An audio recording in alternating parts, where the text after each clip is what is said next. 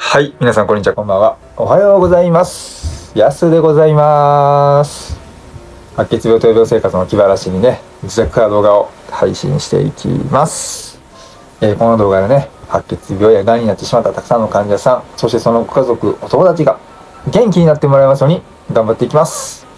えーそして皆さん、この動画配信をきっかけにですね、ぜひ、献血骨髄バンクにご協力ください。皆様の血液が必要です。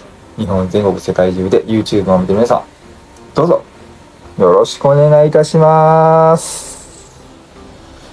はい。えー大谷選手がね、えドジャースに決まりましたね。えーシーズンオフになってから、まあ僕、あの、エンジェルスのね、服買っちゃったんですけどもね、クソって思ってます。まあでもね、あの、頑張ってほしいと思ってますんでね、1015億、1050億でしたっけね、10年間ね。すごいですよね。頑張ってほしいと思います。はい。で、えっ、と、これね、見てもらったら分かると思うんですけども、あの、次男がですね、お父さん、登録者数6000人やったら盾もらわれへんやろ？もらわれへんやろ？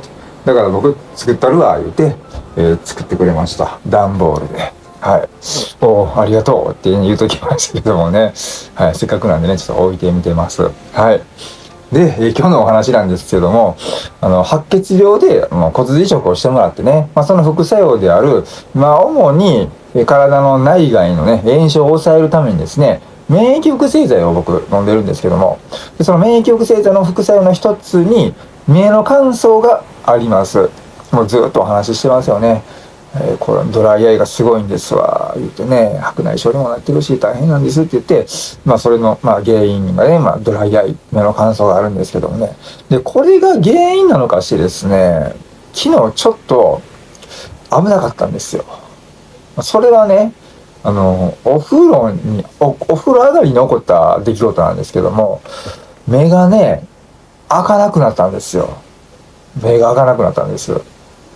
まあ、痛みはねそんななかったんですけどもどうも目が開かなくなって、まあ、今は開いてますけどもその時ね目全然目が開かなくなっててでもそんな目をねまあこうガッてこうね指でこじ開けてもですよいつもよりも霞と言いますか曇りがすごくてねもう1時間ぐらい何をしてもね何もできなかったんですよ。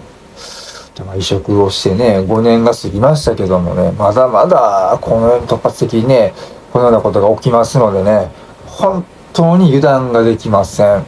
ねえ。なおどっか行ってる先とかね、自転車乗ってる時、車運転してる時にこんなことになったら嫌やなと思って、ちょっと怖かったんですけどもね。まあ、あのーお風呂に入るまでとかね、入ってる時というのはね、そんなにこんなことになることなかったんですよ。あの、出て、まあ、体をね、バスタオルで拭いてたら、まあなんかぼーっとまではしてないんですけども、こう、まあ、目開いてるでしょ。ね、拭いてるじゃないですか。だから視界がこれ以上に、急にね、はっとこう曇ったからね、これ危ないわと思って、もう一応、まあ、そーっと目を閉じながらね、体拭いて、手探りでね、パンツ履いて、パジャマ着て、っていう風にしてて、で、まあ、あの手探りでこうドライヤーをね、僕毛長いからね、バーって乾かしてたらですね、まだこう、椅子椅子椅子言うて、あの椅子に座ってね、ちょっとこう半目をね、開けながら、半目は開くんですよ。でもね、視界が、あの、ほんまに、ふわーって白くて、あんまり目も開かない状態で、えーおとなしくしたんですよね。で、こうやってメガネをかけてもね、視界が悪いんですよ。今ね、こうクリアに見えてますけども、メガネかけたとしても、なんかバーってぼやけてるというかね、焦点が合わないという感じで。で、目薬をしてみようと思って、目薬をしてもですね、しばらくはそういう風な視界が元に戻らなくてですね、うん、でもほんまに1時間ぐらいね、してから、やっと視界が戻ってきましてね。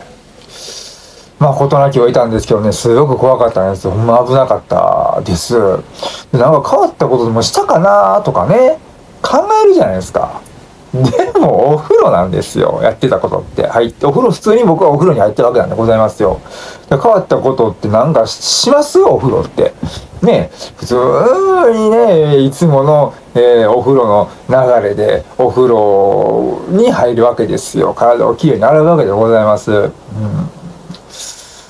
まあでもただね昨日ちょっとだけ長風呂やったかなって感じはしてますちょっと、うん、まあだいぶなんかないつもよりは長く入ってたんですよ。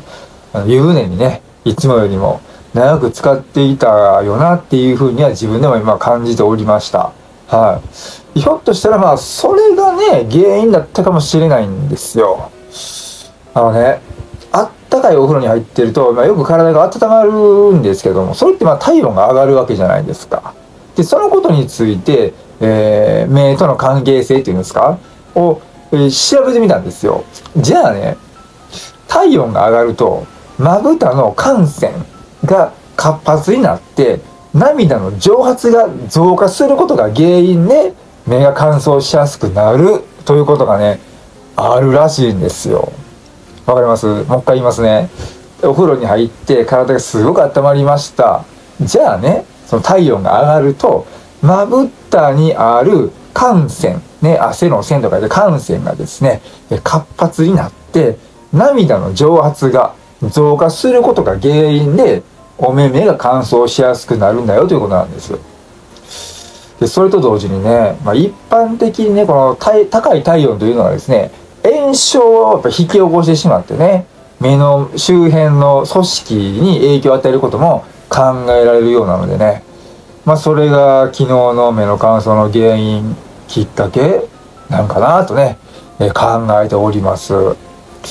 で、まあ、昨日はね、まあ、いいお天気でしたけどもね、やっぱり家の中におったりとか、日が沈んでくるとね、寒いじゃないですか。12月やし。じゃあね、お風呂に入って温まりたくなるじゃないですか。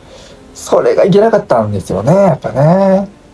なのでね、えー、同じように白血病がね、関係していて、えー、目に症状がある人というのはですね、長風呂はね、控えた方がいいかもしれません。お風呂で体を温める、温めすぎるのはね、控えた方がいいかもしれません。